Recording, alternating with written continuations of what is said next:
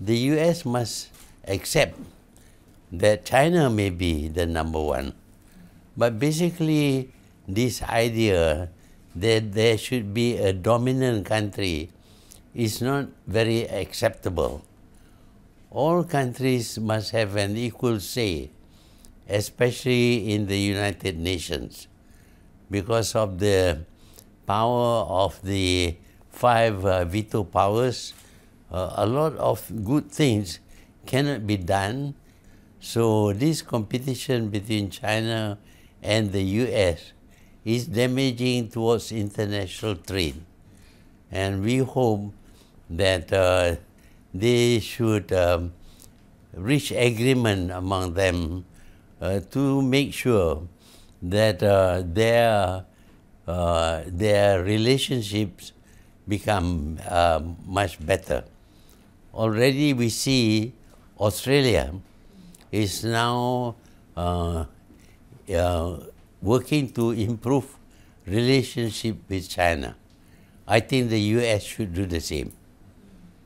There's not very much that ASEAN can do except to try and contact, keep contact with the military and try to persuade them that uh, they can retain power without being oppressive towards their own people.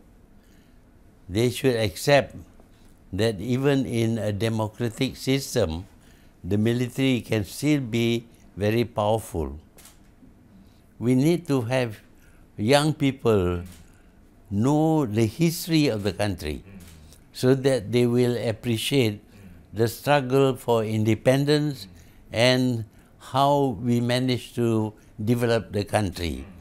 Uh, when they know that, I think they will continue the process and the country will become better developed. In many countries, they elect governments which are not very capable. Uh, they don't know how to manage the economy, how to grow the country. And because of that, they um, tend to borrow a lot of money and uh, to use the money to, uh, to pay for development, but at a very high price.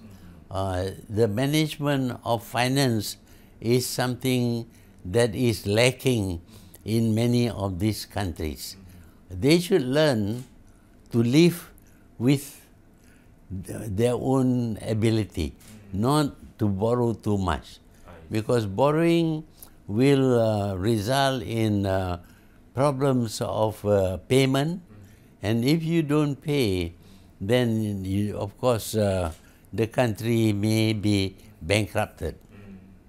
I think what is important is moderation in life. Uh, you don't overeat. You must do sufficient exercise. You don't get angry or you don't get very uh, um, emotional uh, all the time. Also, you must always be, be thinking a lot, reading, writing, debating, uh, and uh, using your brain all the time.